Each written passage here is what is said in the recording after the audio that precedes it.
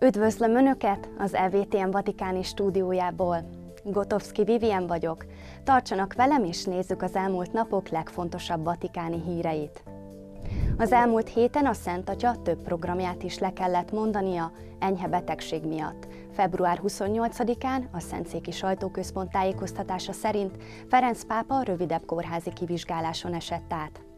A szerdán kora délután küldött közlemény szerint az általános kihallgatás után Ferenc pápa a Tibéris szigeten lévő Gemelli Izola kórházba ment néhány vizsgálatra.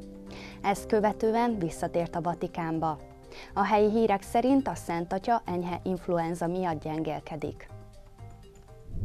Február 6-a és 9-e között kettő péntekig tartotta a plenáris ülését az Isten tiszteleti és Szentségfegyelmi Dikasztérium Artur Ros bíboros prefektus vezetésével. A négy napos tanácskozás témája menjetek, készítsétek elő a húsvéti vacsorát. A közgyűlésen részt vett Erdő Péter, a dikasztérium bíborosi tanácsának tagja is.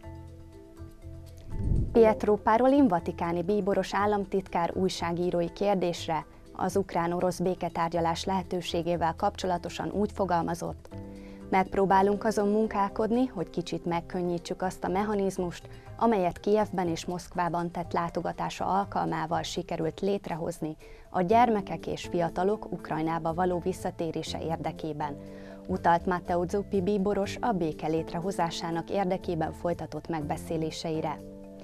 Az államtitkár számára úgy tűnik, hogy nincs kilátás a közeljövőben egy ukrán-orosz találkozóra, és hozzátette, ez nagyon szomorú.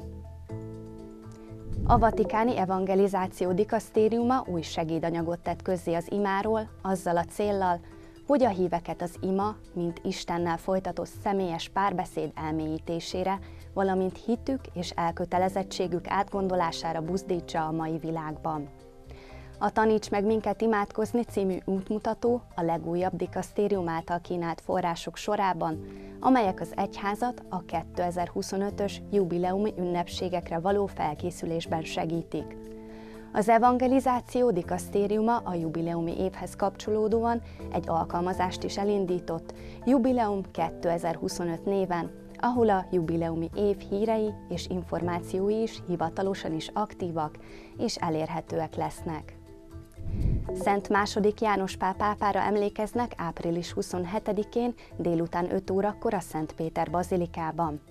A bíborosi kollégium dékánja Giovanni Battista Re bíboros mutatja be az emlékmisét, adta hírül a második János Páról nevezett vatikáni alapítvány.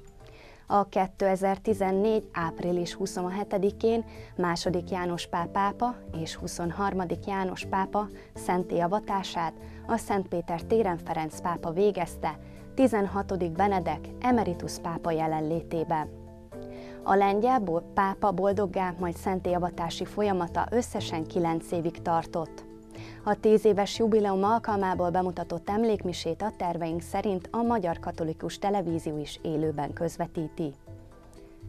Raniero Cantalamessa kapucinus atya, a pápai ház szónoka, a hagyományoknak megfelelően nagybőti elmélkedéseket tart a római kúria tagjainak, idén Vatikánban, a hatodik Pálaulában. A mostani katekézis sorozatában János evangéliumából merítve sorra veszi Jézus súlyos szavait, melyek önmagát tárják fel az Én vagyok a formulán keresztül. Az elmélkedésekről a katolikus televízió nézői sem maradnak majd le, hiszen lehetőség lesz végigelmélkedni Cantalamessa atya gondolatait Nagyhét hétfőtől 5 napon keresztül a kommunió után, várhatóan 11 óra 30 perctől.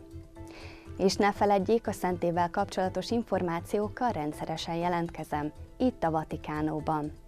Köszönöm figyelmüket, jövő héten ismét jelentkezem Rómából, az egyház szívéből.